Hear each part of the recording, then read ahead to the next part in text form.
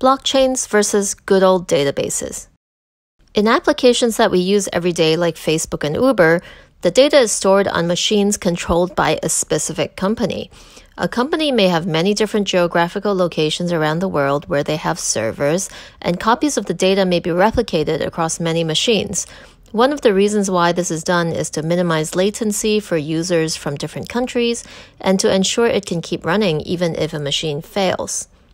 We're all familiar with this model of storing data on servers. Although the data is distributed across the world across many machines, it is still considered centralized because it is controlled by a single entity, aka Facebook or Uber or Amazon or Google. Critics of the centralized model point to an over concentration of power in the hands of a few, whether they be individual entrepreneurs or governments. How is the concept of blockchains different from this paradigm that has powered Web 1 and Web 2 so far?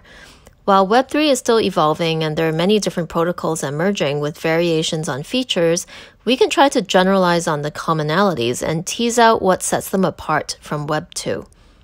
I can throw out a Web 3 word salad, such as trustlessness, decentralization, immutability, transparency, anonymity but the problem with these definitions, other than abstractness, is that they're aspirational or ideological and may or may not be fully realized depending on the actual implementation. For example, just the trustless part can fuel hours of debate. I find it easier to think about blockchains as having three unique characteristics compared to quote unquote normal databases running on normal servers the what, the who, and the where. Firstly, what are you allowed to do on the database? Secondly, who is allowed to do it?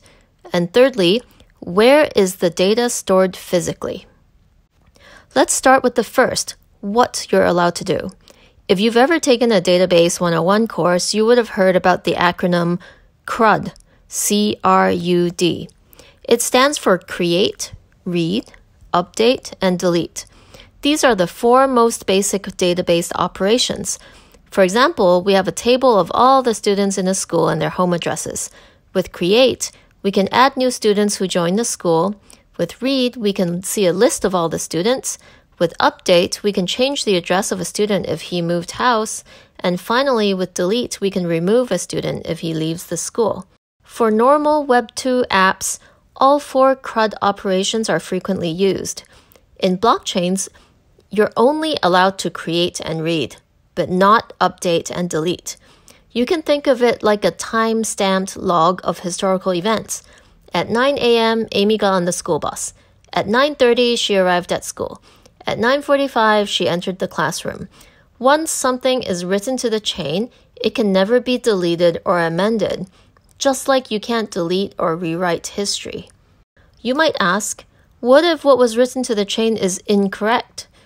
Well, each protocol has their own rules to ensure what gets written to the chain meets a certain set of criteria, depending on what exactly the blockchain is for.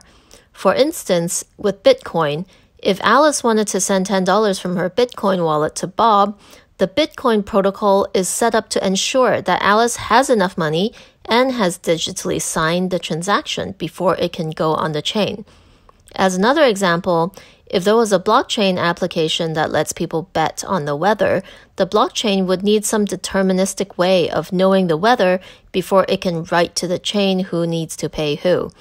In this case, it might use the US National Weather Service as the so called oracle, which is just a trusted source that feeds the blockchain with real world data.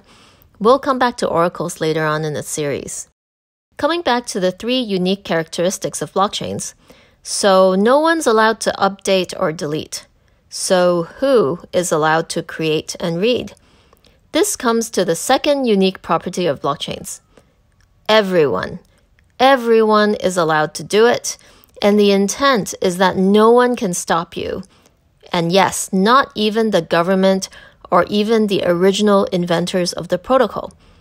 In Web 2, the company is the gatekeeper to all operations made to the database.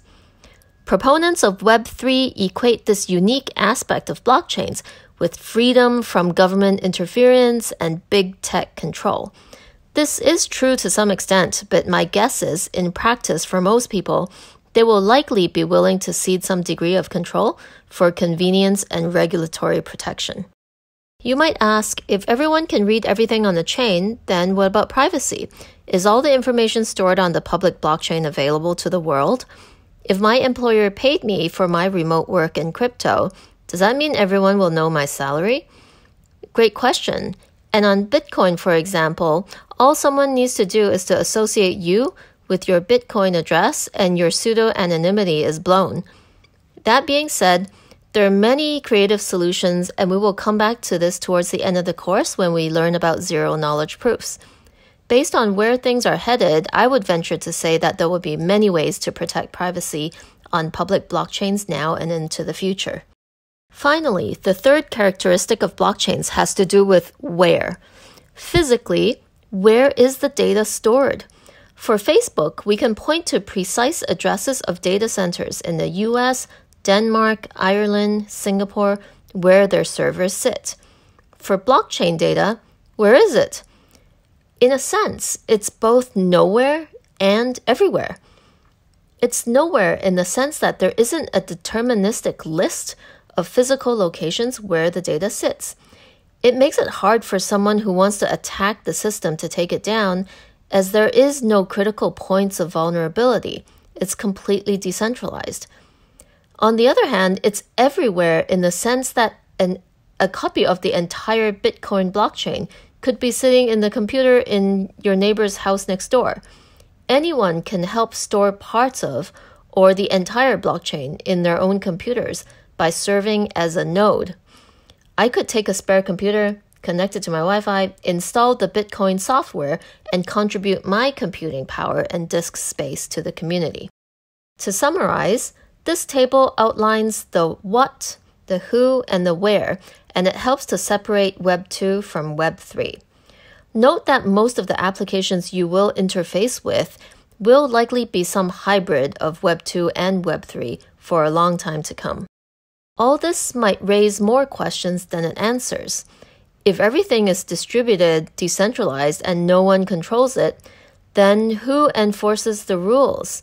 And why would people volunteer their computers to become nodes? What if there aren't enough nodes, or all the nodes shut down their computers at the same time and the data is lost forever? This is what makes the design of blockchain protocols so ingenious and also so challenging at the same time. A combination of hash functions embedded inside the chain, combined with so called consensus mechanisms and incentives, all work together to keep things on track. These are all meaty topics. We will cover them in upcoming videos.